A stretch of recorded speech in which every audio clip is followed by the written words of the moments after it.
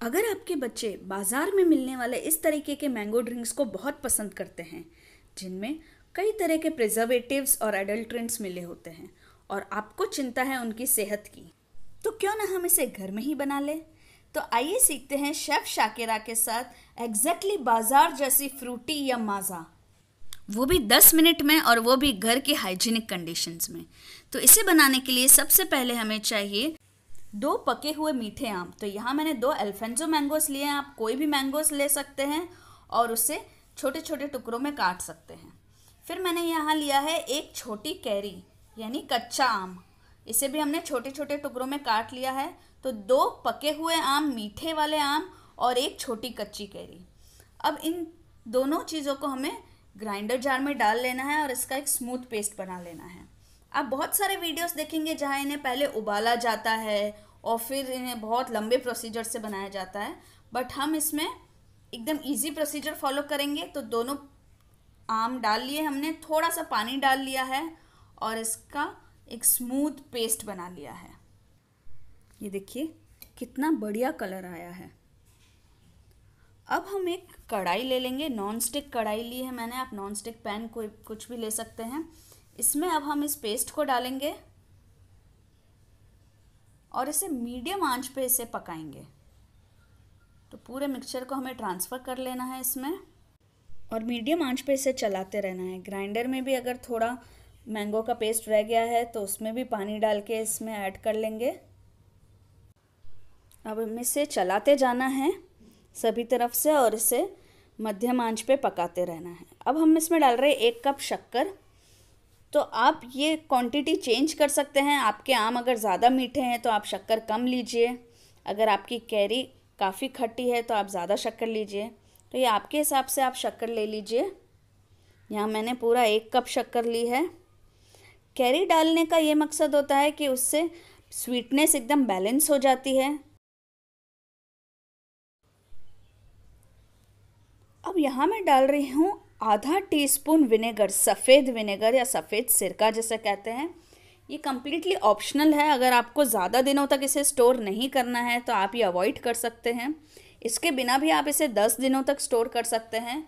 लेकिन अगर आपने सफ़ेद सिरका डाला है इसमें तो आप इसे आराम से बीस पच्चीस दिन तक भी स्टोर कर सकते हैं। तो अब हम इसे पकाते रहेंगे। साइड में चिपकने नहीं देना है इसे। लगातार चलाते रहिए।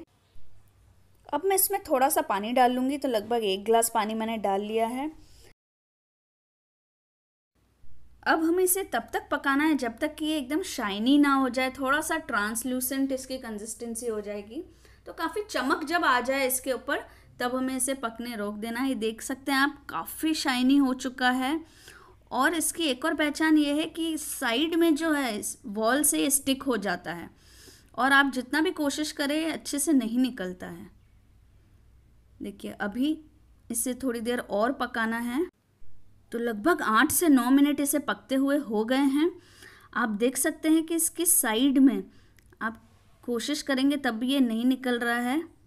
तो ये अब अच्छे से पक चुका है।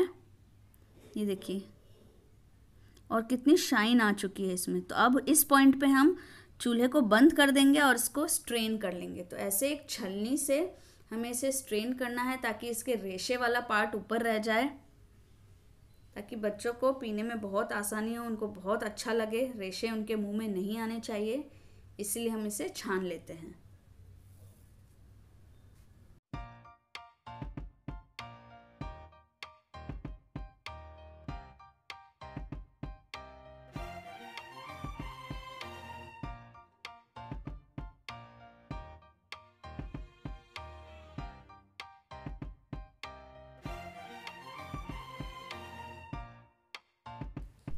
आप देख सकते हैं कि अब सिर्फ़ फाइब्रस पार्ट रह गया है, सिर्फ़ रेशे रह गए हैं। देखिए तो ये रेशे हमने अलग से निकाल लिए छान के। ये देखिए तो हमारा कंसनट्रेट रेडी है मैंगो का। अब हम इसमें पानी डाल लेंगे। तो दोस्तों, मैंने एक लीटर पानी पहले से ही अलग निकाल के रख लिया था तो थोड़ा थोड़ा करके मैंने ऐड कर लिया है। शुरू में भी मैंने एक गिलास पानी ऐड किया था उबलते वक्त, और अभी भी मैं धीरे धीरे करके पूरा पानी ऐड कर लूँगी। तो यहाँ मैंने एग्जैक्टली एक लीटर पानी लिया है। आप आपकी कंसिस्टेंसी जैसे आपको चाहिए, वैसे, उतना पानी ले सकते हैं। अगर आपको बहुत पतला फ्रूटी जैसा चाहिए तो आप ज़्यादा पानी ऐड कीजिए। अगर आपको थोड़ा मैंगोला या माज़ा जैसा थोड़ा थिक चाहिए तो आप कम पानी ऐड कर सकते हैं। तो लगभग दो मैंगो से आपका एक लीटर जितना माज़ा या फ्रूटी बनकर रेडी हो जाता है। और इसे ठंडा ठंडा सर्व कीजिए। बहुत ही ज़्यादा टेस्टी लगता है बच्चों को और हमें पता है, हमने अपने घर में बनाया है, एकदम हेल्दी और हाइजीनिक कंडीशंस में बनाया है। तो आप इजीली इसे स्टोर करके भी रख सकते हैं, कम से कम एक महीने के लिए भी, क्योंकि आपने विनेगर डाला है। विनेगर नहीं भी डाला है तो दस दिनों तक के लिए आप इसे सेव करके रख सकते हैं। और ये टेस्ट में भी बिल्कुल फ्रूटी या माज़ा जैसा ही लगता है।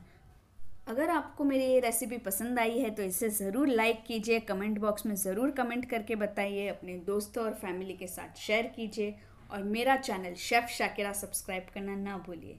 साथ ही बेल आइकन को भी ज़रूर प्रेस कीजिए, ताकि आपको मेरी हर नई नई रेसिपीज़ तुरंत मिलती रहे। हमें इंस्टाग्राम और फेसबुक पे भी फॉलो करना मत भूलिए। शुक्रिया, धन्यवाद थैंक यू